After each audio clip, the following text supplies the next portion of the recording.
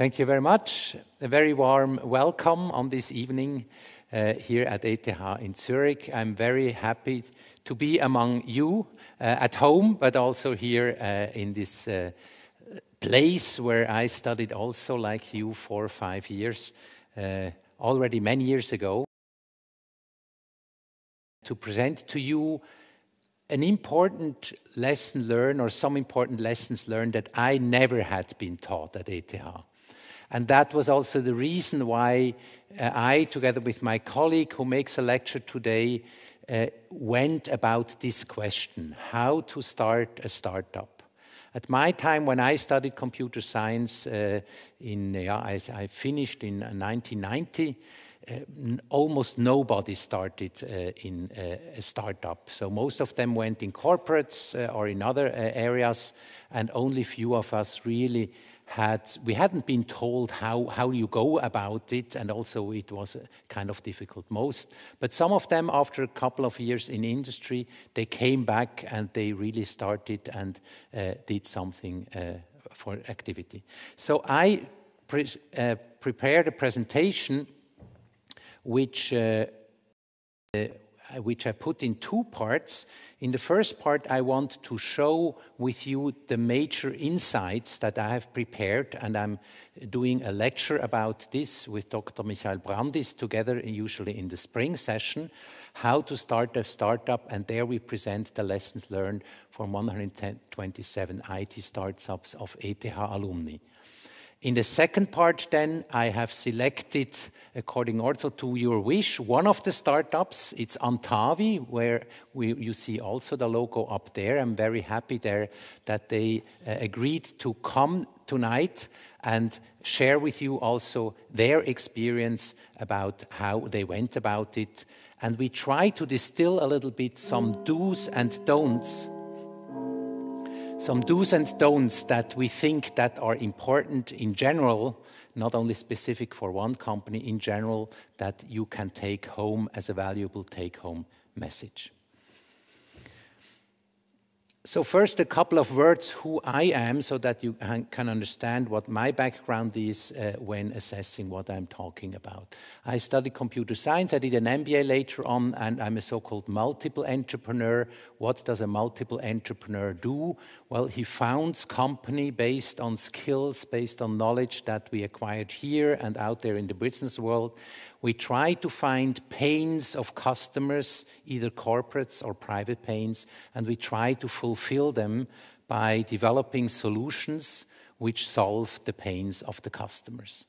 And I did that in several companies. The first three Convergence, Energiepool Schweiz, Soft are companies that I have sold later on. So that's how uh, I, I, earned a little bit of money, which I'm now reinvesting in the next companies like Hotelcard, Rebalance, SRM, Maineo Energy, and Payrex.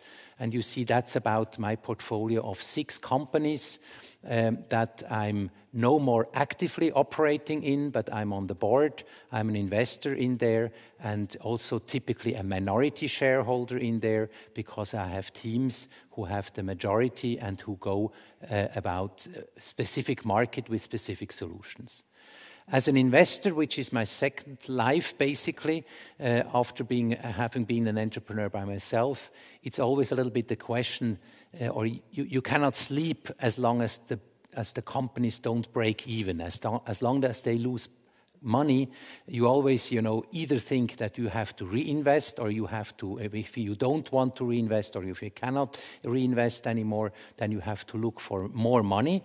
And this is always a little bit the threshold. So you're always a little bit stressed. Once you're profitable, once you break even, then it's a little bit more comfortable because then you can decide how fast you want to grow, whether you go a little bit harder or whether you want to take external money to speed up the growth and so on. But then you feel a little bit more freedom. But until the moment where you break even, that's really the stressful phase in probably about every startup. And I'm happy that three of my investments now, now they're profitable, but I still have some sleepless nights, and this is basically uh, because of the last two ones where I always think how we can uh, move on quicker to make them profitable.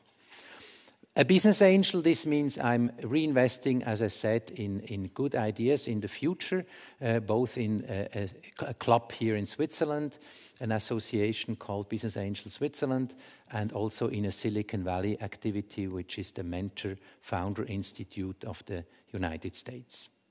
And finally, I'm a president of the Catholic School in Zurich, which has, but which has less to do with its more social uh, engagement from, from my part.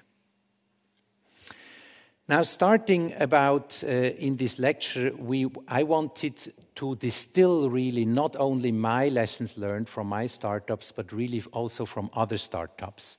And many of them have been even much more successful, I mean, money wise, than, than I was. So I tried to interview each and one of them to, to distill a little bit what, what were the lessons learned, what are the do's and don'ts that you could transfer to the next generation, like you, what they should do and what they shouldn't do. And interestingly enough, some of thoughts that I thought that were true, uh, I found out that they can be considered completely different, and I'm going to show you uh, which way. But before we start, I show you this, the structure. We tried to identify, I think, almost all the IT startups of ETH alumni, and we tried to uh, structure them in a little bit. Huh? And we found out this structure, so you can structure them in a, a companies which have a more technological focus, a functional focus, an industry focus, or a market focus. Techno typically, most of them are in the, in the left part, technological, fo te technological focus, which means that you learn something here at ETH. It's typically top-notch technology. Sometimes it's a little bit risky because in many technologies, we are here at ETH 10 years ahead or 20 years ahead. So that can be very risky and very uh, money-wise, very cumbersome until really get to the to the break-even point. So that's a little bit difficult. So you have to be careful when you really have a technological focus. Most of the startups, but then in the development phase, went to a functional focus or in addition to a functional or an industry focus. What I mean by a functional focus is that if you look at the organization of a company, they're all pretty much organized the same way. You have the value chain, you so they have the purchasing department, you have the production department, you have the sales department, and then you have overhead departments, which is uh, legal, financing, human resources, advertising, what, whatever. Huh? So, and you, if you have the CFO or the COO or the CMO and so on, so if you really focus on a function, then you really use this technology to solve some problems from this, for these corporates in this specific function. And I think the most successful companies that you see, they have really find out how not only to use this technology, but to solve then the problem or the pain of a specific function in this company. If you focus on a function, you can be uh, more variable into the industry. So you can work, you have a solution with, with a certain specific technology for head of marketing, and you can do that both in pharmacy, as in banking, as in insurance, or in other industries. Or you have a, a, a focus in banking, and then you go after different functions. So either way or the other, or even both way, are typically the typical development of most of the companies that I, that I have analyzed among these 127.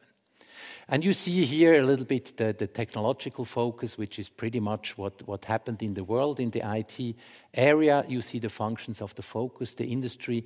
And then finally, on the, on the completely right, you have the market platforms. Market platforms means that you don't work basically for a, a corporate company, but you try to bring together on a market platform consumers to consumers or business to consumers or business to businesses or business to business to consumers so that uh, you basically provide a marketplace or a platform where the value of each consumer is not only what you create as a platform, but the more participate in your platform, the higher is the value for each consumer. And this is a very attractive business model, and we have uh, uh, discovered some of uh, many of them. And why is it attractive? Because if you really manage to be to be the number one in this marketplace, then you really have a high margin and you have a very sustainable margin because uh, it's very difficult for competitors uh, to, to beat that. And so this sustainable profitability, this is something about uh, an important thing and the most successful one really achieved, whether they did it deliberately or by coincidence. Uh, many, many tell you it's a little bit of luck as well, obviously, but you try many things. But if you're looking back, then you realize that most of them have found a way to achieve high margins on a continuous level, and platforms is one of uh, uh possible solutions of it. So this is about uh, the structure of all the 127. Uh, you have later on the link where you can go to the, the list and you have uh, all the names and the lists uh, in there. Now, to the lessons learned, what I tried in the interview with all of these uh, founders to try to filter out uh, now when we focus today on these three questions, which I thought would be most interesting to you uh, at this age, at this status, and in your uh, in your life, in your career, or at the beginning of your career. And this is the first question how to generate a good business idea. So I asked the people, huh, how was the beginning? What, what was your idea? What were the alternatives? Why did you choose what you have chosen? Was it correct in, you know, looking back? Uh, and, and what would you do differently? What would you recommend to the next generation how to go about these questions, how to generate good business ideas? And I give you the answer, the summarized answer, what I have been hearing from the entrepreneurs. The next is once you have generated several business ideas, and it's always good to have several ideas, how to do you evaluate which one is a better one or a, or a worse one? Huh? And finally, once you have selected the one you which you feel best, uh, whether it be during the study or later on uh, during work life, how do you implement then? What are the key success for why some businesses succeed and why uh, some succeed less and some fail? So these are the three questions I want to I'm going to answer in the next three slides. So let's start with the how to generate uh, good business ideas. What I've been told most is that usually we learn here at ETH how to become painkiller. So we have a solution, we learn a technology to, and we know everything about this technology, but we know very little about the pains of the world. And pain of the world, your customer. Who exactly is your customer? And this is the, the first thing is really to go about to generate the business idea. Don't only look at the technology or what you master, what your skills are, but look at who are the customers, who are the customer segments, that and what pain exactly do they have. And that's the most important. So the better you find this match, and better and, and the better the, the pain is a real pain, and, and I call it also the word pain, I think it's the perfect word. It's not just a need. A pain is much more than a need. Huh? A pain is something which is important, it's uh, urgent, huh? it's uh, convenience sells, it makes something more convenient. You have little alternatives, and you have a huge market. Huh? So these are the pains. So look after these aspects of these pains in different segments. Don't go after everything. We have a tendency, you know, we have a solution and we you know everybody it's so it's so great, we're so proud about our solution, it sells automatically. Huh? And usually you then experience that it doesn't sell automatically unless you really understand your customer, you have talked to them. And we realized another thing that if you sell, if you make solutions for other IT engineers, then you're at the same time you're the developer, but also the consumer of these solutions. That's why most of the most advanced uh, products are exactly there, where at the same time you're the consumer, the customer, and the developer. But that's very rarely the case. In most of the cases, you are in a different world. You are the, no the knowledge owner, the developer, the solution provider, and the pain is on the other side. So go to learn the pain. So it's no problem to become an entrepreneur. It doesn't have to be immediately after studies. Go into an industry, or if you have a thought, go first, discover the world, discover the companies, especially also people after study, they know a little bit the consumer pains, but not really the, the, the, the big corporate pains. Huh? So why not go out there because they have much deeper pockets than typical, the typical consumer has. So that's, that's where the real pains are and where you can become much quicker successful. So try to find out how to generate business ideas, become sensible about this pairing of pain and painkillers. Whose pain are you actually uh, killing? And, uh, and are they do, they create, do you create by this a big value? Are they important for the customer? Are they urgent? Do they have a deadline until they have to get that, that, that problem solved? Uh, is it, does it increase their convenience? Is there no, no alternative or, or is the alternative, are your product much better than the alternative? And is there a good market? Voila. So the second question, which uh, I heard many times in the interview is then the, how you go about your product. Or you said before in the slides, I haven't mentioned that. You see here, if you think about your product or your solution, then think about also about this, uh, this four or eight or eight P's the pro, not just the product, the solution, also the pricing, the placement, the promotion, the packaging, the product. So the people, the processes, so the different aspects of, of all what is around the product. And one which is usually misunderstood is the pricing, how important the pricing is.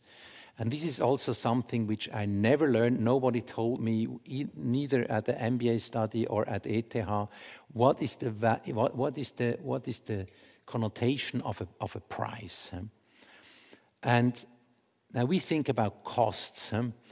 And, and the way we feel that sh you should think about pricing is that on this value axis, if you kind of kind of quantify the value that you bring to the customer, the customer is always only wanting to buy from you huh, if the price that he has to pay you is lower than the value. Obviously, because then the difference is the margin, is the benefit that he has.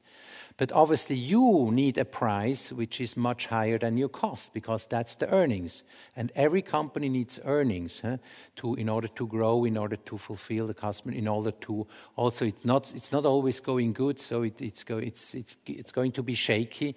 So you need to also to, to survive in these shaky times. So your price, and the price, so the price is something which is in, somewhere in between cost and value.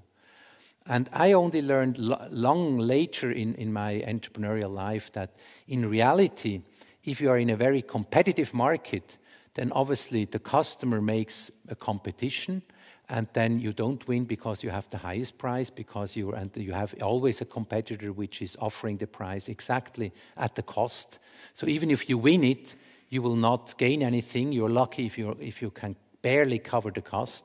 So that's in a competitive situation. So try to avoid competition.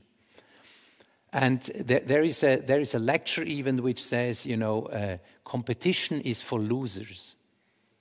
And this is a great, this is a complete change of mind. I mean, everywhere in school, we have to compete in football, in everywhere. We have to be good in classes, we get grades, and so we have to be better than others. Huh? But in business, it's not good to be in a competition. Huh? It's, good, it's good to be uh, where you have a kind of uh, protected uh, a customer uh, uh, binding or in a situation where you can really set the price uh, above cost Obviously, it has to be also below value, otherwise you wouldn't sell, but in where optimal would be 50-50. So have this in mind, and also when evaluating businesses, do you have a chance? Is it too competitive? Uh, do you have a chance to have uh, for example, you sell a solution, but then with the service part, the after sales service, you have a higher margin than at the first time when you sell the solution. I mean, you all know the, the, the, uh, the, the examples when you buy a printing machine and then the toner costs much more than the printing machine and, and the capsules of Nestle and all. So there are ma many of such examples. Marketplace is also one business model where you can achieve high margin because once you the number one in a certain niche, then you really have high margin and you have a price above cost. So this is an important, almost the, the most important thing to evaluate different business ideas. Where can you achieve sustainable high margins in the long run? And the third one then is what makes startups succeed or fail? And this is uh, based on the interviews. I have the package which, which you can download uh, afterward in, in, the, in the lecture, where you have all the interviewed people, uh, which I showed the logo before and many more. Uh, and we have one representative afterwards here who is uh, talking about uh, his, his. The successes, they always say, yeah, you need, you need to have a painkiller huh, and not just a nice to have or a pleasing product. Huh? It really has to kill the pains, and the pain really has to be urgent, important uh, for the customer. Second, it has to be better than alternatives, and alternatives not only need means than competitors.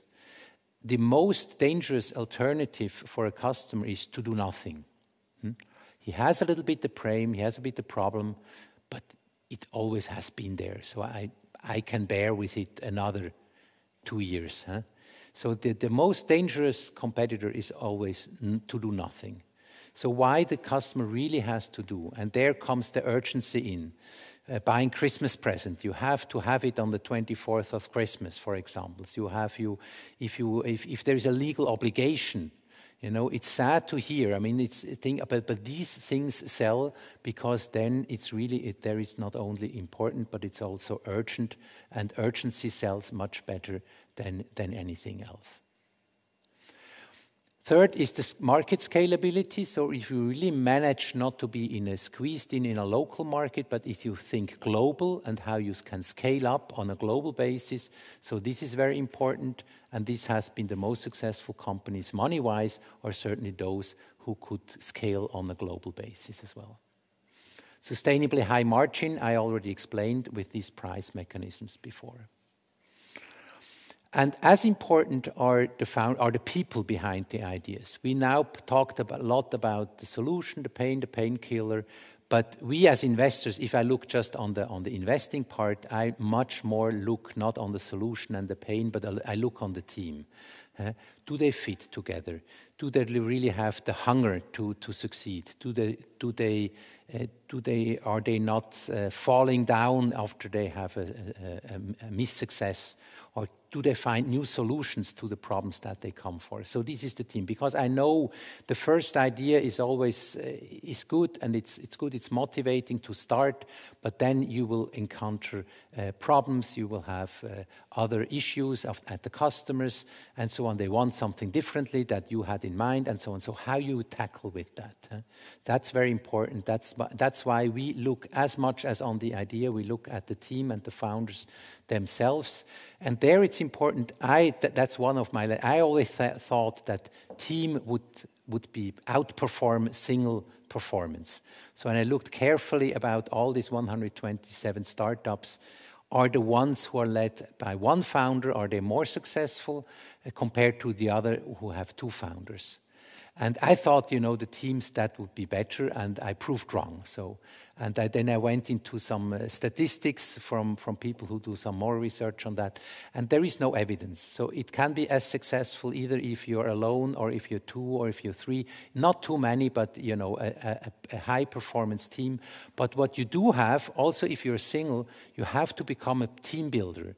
So also your second, your third, your fourth person, whether they are at the same time together with you, whether you are a 50-50 uh, shareholder company, that's not so important. But you have to become a team builder. So you have to, to people have to like to work with you. It's not for you, it's, uh, it's with you in, in one way or, or the other. So that's, in, that's definitely important and uh, compared to uh, if you fail in social skills.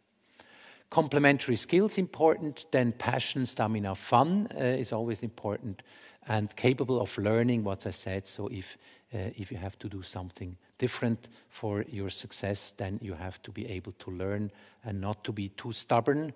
Uh, and this to have the skills of to have the passion and stamina and still be learning, that's not always easy. Where you have to give leeway and where not. Voila. So this is a little bit what I wanted uh, to bring to you. I have some further recommended reading for those who are interested. I'm doing this lecture together in the springtime with uh, Michael Brandis. He, I just called him. He said it's the, the, the, lecture is called a little bit different next year. Uh, this year it was called Business Cases from Practice. There we go into more details, uh, also more presentations in, in one of the, of the startups. If uh, I, one, some of the best readings that I had, I, am not a reader, I, I hate reading, uh, but uh, some of the best readings I, I still had uh, are, are, those two books that I have found. So if you're interested uh, about hearing business models about very well-known worldwide company in the IT area, uh, worldwide. And you have also a YouTube channel uh, of the lecture of Stanford, How to Start a Startup, which is very inspiring on the different aspects of the, of the development phase of a, of a startup. And now I hand over uh, to one of the startups. Um, uh, their name uh, is um, uh, oops, case study Antavi, voila. And please welcome Ulf Blanke. He was so kind to show up tonight and he will show and share with you his, uh, explain a little bit who he is and what his company does, and then also transfer to you some do's and don'ts uh, from his uh, experience. Thank you.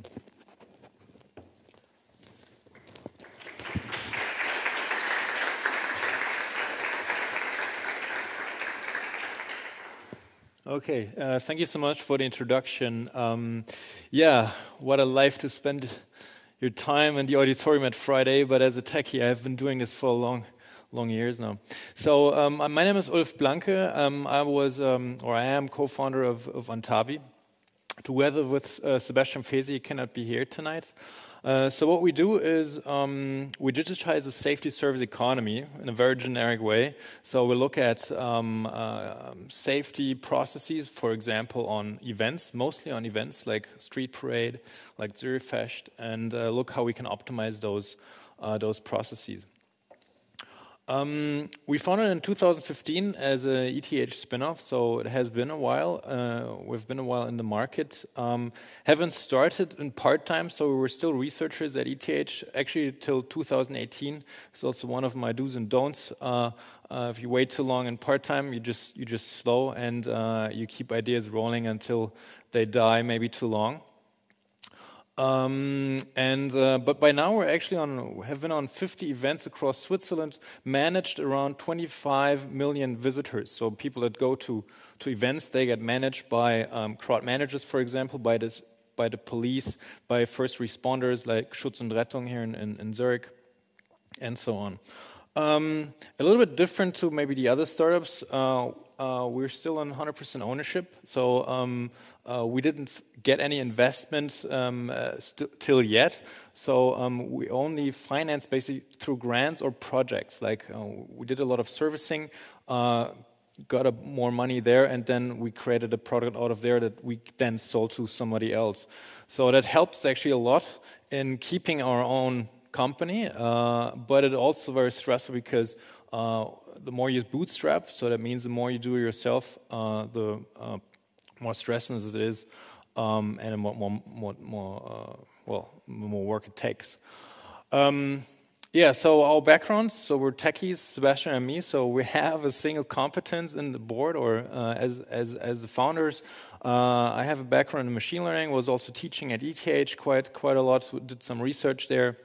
We're always at the intersection between research and innovation. So also here at ETH, we did research very application oriented and always wanted to push technology into the market or into, into users um, that could apply them basically um, in, in practice.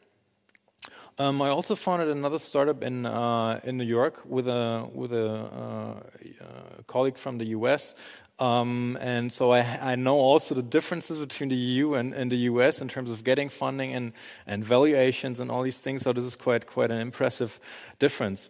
Now, um, coming to the do's and don'ts. So um, the title is "How to Start a Startup." It could also be like "How Not to Start a Startup." So there are also a lot of things uh, that we learned that uh, we shouldn't have done that, or um, yeah, maybe next time we should do something different.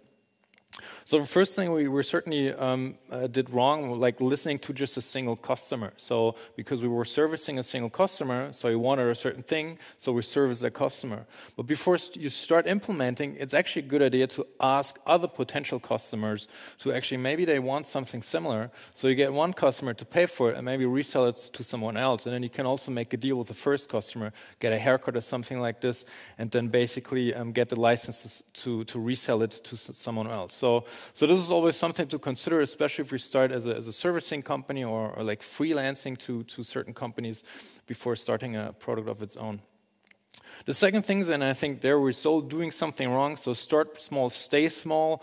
Um, uh, you can do that. Um, um, uh, sorry, start small, uh, start local. So you should do that because um, it's just more expensive to roll out internationally. You need a salesperson in every country and so on, especially from Europe. It's very difficult. You have different languages, different regulations, and so on. But you shouldn't stay small or stay local. So you need to have a plan to go international, and then at the end of the day, of course, to grow the company. Um, and one important thing I also discussed a lot with my American friend learn on someone else's dime. So before starting your company, you, um, as, as um, uh, said already, you need a competence to, to start to base your startup on. So that competence has to be really, really good, um, and you have to be very proficient from day one. Because as soon as you start a startup, you're not enrolled and you're not employed by someone else. You're employed by yourself, and the, the, the clock is ticking. So you gotta you gotta start start running. Um, the other thing is starting late. So uh, don't stay in a job too long to learn on somebody else's dime. So um, but um, start early as you can. So, I mean, and I'm talking lifetime. Uh, like, if you're in, in your 30s and in your 40s, of course you can still do your startup, but it's going to be more difficult. You have uh, much more roles to fulfill. Maybe you have family. Uh, maybe you have uh, also a different kind of lifestyle and so on. So it's going to be going to be very, very, very harder uh, the older you get. And one thing that's very important to me to tell you is like uh, listening to advice and distinguishing from opinions. So you get a lot of opinions because everybody knows something. Everybody has an intuition on, on, on things that how they should work. Um, but usually it's an opinion and it's not well grounded um, and it can distract you quite a bit from uh, actually um, making the right decisions. Uh, so you have to find a persons very, caref uh, very carefully that, that give the right advice. And the best is if you have a startup, try to find advisors that are really, really close to your startup in terms of um, uh, technology, in terms of uh, business model, and so on. They have to be really close, and the better the advice will be. That was our um, our experience. And one is a bit of a schizophrenic um, uh, do's and don'ts is like thinking money first. So think how you make money of your idea really early in time. Think about customers that are really willing to pay for something. So let's let's put it this way: you have somebody who's interested in something, um, and you present a product to them. You haven't built it yet, but you have to build it for them, and they say, "Yeah, it's interesting. Let's do a pilot." Um, try to make the person pay for the pilot. It doesn't have to be like the full ticket, uh, but uh, you need someone to actually make a transaction so you know, you validate that your idea is actually worth somebody paying for before you actually implement it. And then the other side is don't think money first because you want to change the world, right? So you want to make an impact and you don't want to make money driven. Otherwise, you could be a freelancer, you could, you could be a servicing company um, that makes transactions, so getting money for a certain service. Um, but that shouldn't be, uh, I think, a motivation to follow. Um, so coming uh, soon to a close, um, one thing that was important to us, but that was, um, I think, um, because we were bootstrapping, we wanted to keep our um, our footprint, our money footprint low. So we want to keep expenses low. We did a lot of on ourselves. Uh, um, for example, we do, do a lot of, of cloud servicing, uh, sorry, of, of services in the cloud, um, uh, and, and we kept that computing power, for example, really on, on its limits and stuff like this. So we actually made some effort to, to keep the cost low, to keep also the cost low in terms of personnel. Personnel is going to be your highest cost. Uh, any way, uh, also in, in, specifically in Switzerland, so try to keep that low. Um, but don't be constrained with spending too little because that will slow you down. You have to find the right balance here to, of course, to put the money where, uh, where it needs to be, but um, keep that in balance. Um, and the last thing is um, uh, that was one of, of, my experiences personally is uh, make it um, make a customer experience show uh, ideally like an MVP. You heard probably about it like a minimum viable product. This is also why a hackathon is so important because you create something that's tangible that people can press that people can touch and people can experience. And don't explain it. Don't create PowerPoints uh, because PowerPoints are much less. Uh, um, uh, are much less um, convincing than, than really like having a small, even incomplete, uh, even an incomplete uh, prototype. Um, there's a lot of more do's and don'ts, um, and uh, also there are some other lists from other companies. Um, and uh, this came out of the top of my head, really, but um, because we evaluated a lot during the past year, so basically try, to keep track on what's going well and what's uh, going not so well, and then keep that also in, in, in do's and don'ts lists in, in our minds. Um, thank you so much. Um, I hope this was interesting to you. And um, yeah, um, I think we're open for some questions, I guess.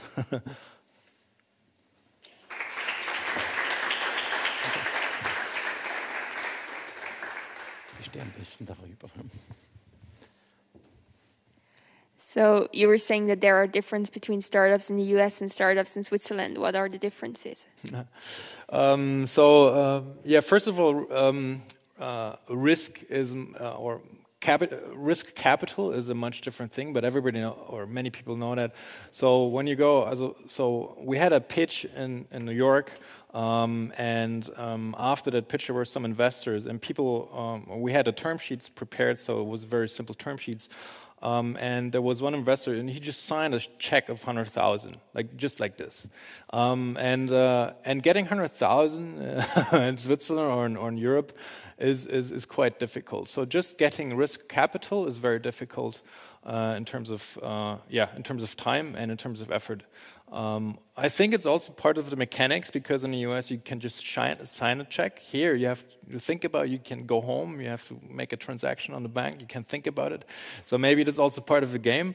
Um, but uh, this was one of the most um, most interesting things. And then of course evaluation. So uh, startup in the US is uh, with uh, only one customer or two customers at the, at the time was valued in, in two digit millions, while in Europe uh, you're, you're in, a, in, one digit million, if at all. Uh. Okay. Uh, are there signs that your startup is going to uh, fail? Like, um, yeah, are there are there signs you can from which you can project that your startups is going to fail? You want to answer it because you have more startups? yeah, yeah. I, I think the, the, ones the ones who I mean, what the, the question is, what is a failure? For, for me, every every startup who who gets to break even, it doesn't have to be you know world winning. It has to be a worldwide activity, but it's it, as long as it's uh, going to break even. Depend if it's only a one-person show, it's very small, but it's it, you you can at least make make a living. Uh, if you're bigger, if you can make the living from several employees, for me that's already a success uh, in the, in the same. So if the, the ones which I know actually in uh, from ETH alumni, I think only about 10% have really I would not say not, they didn't go bankrupt, but they, at some point of time it became too cumbersome, so that they, had to be liquidated, so to speak. So you you may may get only part of the money that you put into uh, again back.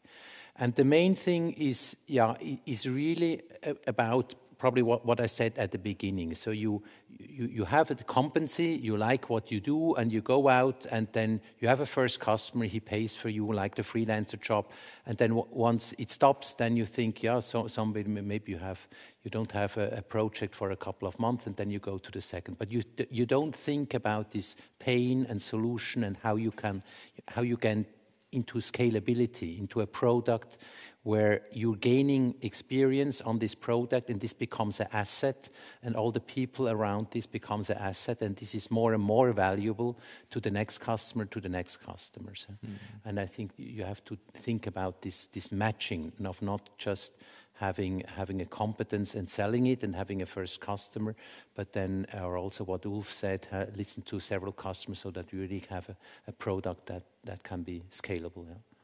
Yeah, I, I like this. Uh, I, it's very hard to, to, to estimate how it's failing because you start with a failing company, right? I mean, if you take investment, it's not a, it's not a, it's a defunct company because if you wouldn't have the investment, it would go bankrupt immediately.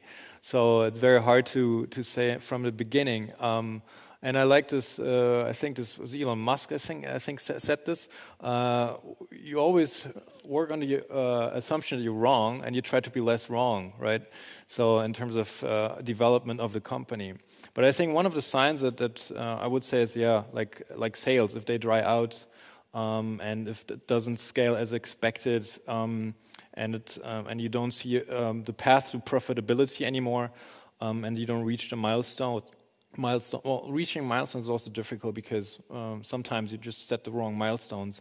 Um, but uh, yeah, I think uh, drying out, or if, if, you don't reach that scale and, and way to profit, profitability is, is is getting thinner, then uh, then I would say okay, maybe yeah, or, or there is nobody interested in the idea. I mean, uh, but that's something that you find out very early. Thank you.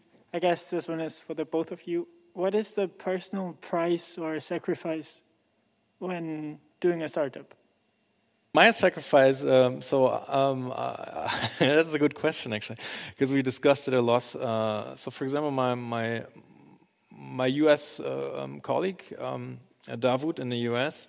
Uh, he put everything on, on one card. Like he said, okay, I, I saved all my money. I'm I'm I'm taking all my money. I'm going to the U.S. I'm I'm doing this startup uh, I don't have this uh, risk profile. So um, I would, um, if it cost me money, uh, I would be very careful. So because you invest a lot of time already, so time is your uh, is your investment, not the money. Um, and if, if time and money comes together, it's going to be existential. So, um, and then, um, yeah, because, yeah, you, lose your time and you lose your money. So uh, I think there I draw my line. so I don't want to lose any money, but I can, and I can lose some time. Yeah. Yeah, my, my sacrifice was, was my health. Uh, so I grew up to 120 kilo uh, at the point of time where I realized that, uh, you know, I didn't take care of myself mainly because it's not the family. I had enough time. I have a beautiful family, children, and so on. But then it's it's the company, it's the it's the job. It's traveling a lot around, and then the food is just you know, it just has to be somehow. I didn't really care. So I really only after I sold the company I could take care of my health. Yeah. I would be really interested in learning more about how a team evolves through time. Like, for example, you told us you started with one colleague, and I guess then hiring a new person or adding someone else to the team like changes the whole dynamic, especially once you're really small. How did this like impact what you were doing, or what were the first people you had to hire? What were they good at? What did they help you with? Mm -hmm. Well, maybe I can start first. Uh, the, the, first company in, in, convergence, utility consultants, I really, I was actually not sure yet whether I'm ready to jump. And then I was replying to a job offer, and it was a, a small company, a, a subsidiary in Switzerland from a bigger consultancy in Germany. And then I felt, you know, immediately that the chemistry was excellent, you know, what we think, what we had several interviews around. And at the end, I said, you know, I would very much like to work with you, but not for your company, or with you and not for. And that's how, how, how we matched kind of, of this uh, kind of match. Maybe it wasn't deliberately, it, it, it happened uh, somehow. And then the first, uh, the first uh, employee, that was really a, a tough, a difficult because we, we felt, you know, because we are a no-name company, we're so small, why would ever anybody uh, uh, be interested to work with us? And then after a while, we realized that because we were small, I mean, obviously we're not a big brand, and for a long time we will not be it. Huh? But interesting projects attracts uh, a lot of talent. Huh? And especially in a small team, you're much more visible. You are much closer to the customer. You are more part of a team and not, uh, not a, little, uh, a, lot, a little wheel in a big machinery. So that, that really helped us then to, to, to get to good people. Huh? And maybe also one advice, I was more risky versus not putting everything itself. So I was being told, why don't you get a 50% job? So I had a 50% job in the area where I wanted to work with uh, at low prices, but which covered my, my, my basic cost. And then I had time for the 50% other to really be put on my company. And I needed about one year in this situation, and afterwards I had enough uh, projects to jump. Yeah. It's a kind of hedging strategy. Hello, I have one more general question. So when analyzing startups or analyzing like any kind of success in any fields, isn't it that we maybe put too much emphasis on the people who succeed and ignore the one who fail?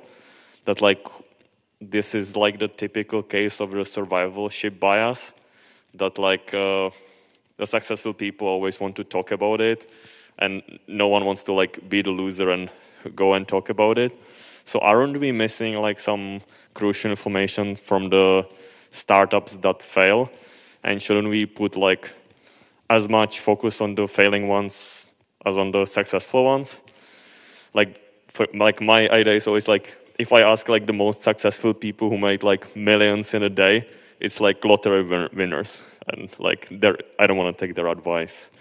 Mm-hmm. Like, yeah, uh, I, uh, it's, it, okay.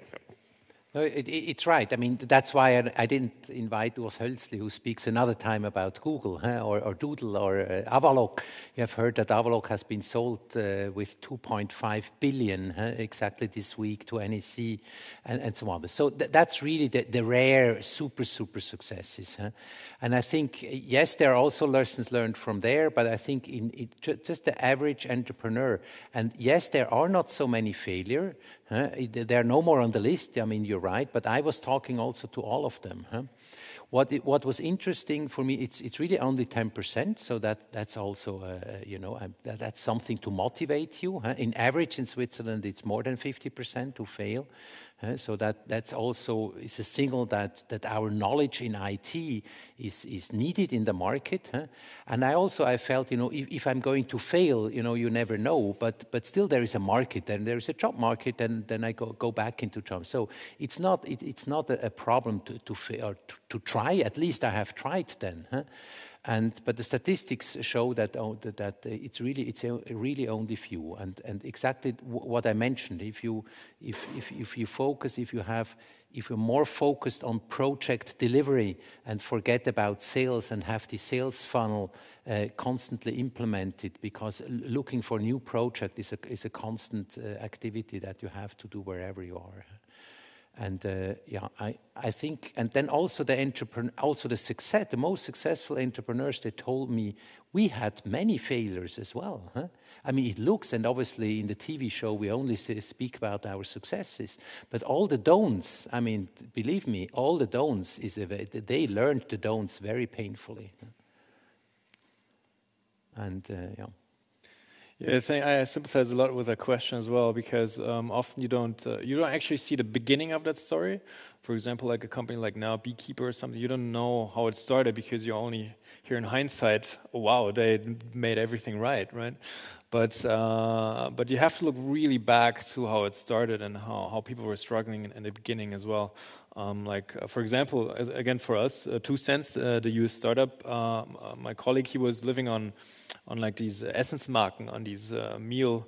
Uh, you have meal where you get you get instead of money you get like these meal tickets, something like this, because he didn't get any any money. He, now it's in a seven-digit uh, revenue stream, right? So so you don't see that. It's only in hindsight. it looks like all success, but it's it's a hard it's a hard it's a real hard game. Uh,